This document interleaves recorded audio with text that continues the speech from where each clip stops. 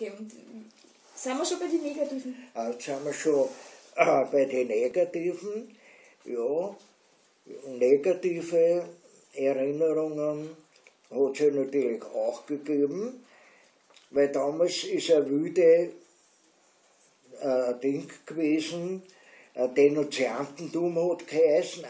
Nicht? Ziemlich viele Leute haben irgendwem, der einer unbequem war, angezeigt, dass sie mit den Nazis irgendwas zu tun gehabt haben. Ja? Mhm. Und ich, mein, Mädel oder die spätere Frau war ja aus Valentin.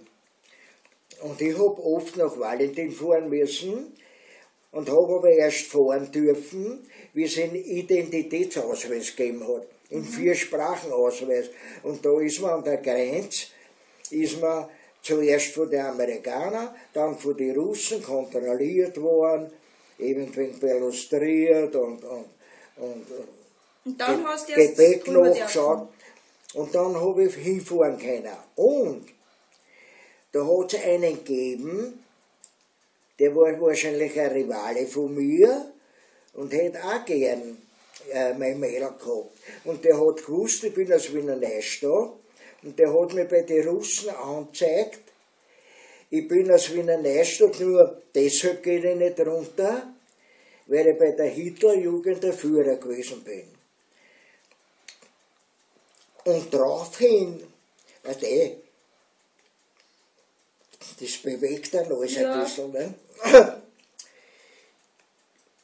habe ich müssen zur russischen Kommandatur, dann bin ich geführt und da bin ich dann drei Tage in einer Zelle gewesen.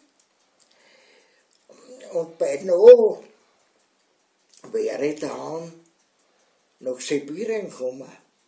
Aber da war ein Österreicher in russischer Uniform, das war ein Dolmetscher, und der hat mich herausgerissen und der hat irgendwie denen glaubhaft gemacht, dass ich nicht aus, aus politischen Gründen in, in, in, in, in Steyr bin, sondern weil unser Haus in Wiener Neustadt bombardiert gewesen ist total. Jetzt bin ich nach Steyr zu meiner Schwester.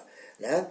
Und bei der HJ bin ich schon gewesen, aber bei der Flieger HJ, und da habe ich mich meistens nur ums Fliegen gekümmert und sonst um auch nichts. Jetzt, äh, du warst ja. ja also da haben sie mir nichts nachweisen können. Und dann bist Und dann, nach drei Tagen haben wir die freilassen, weil der Dolmetscher, das war ein Österreicher in russischer Uniform, ne, äh, äh so, so positiv äh, geredet hat über mich und der mich herausgerissen hat mit Antwort. Der hat sich überzeugen können, dass ich kein gesuchter Nazi bin.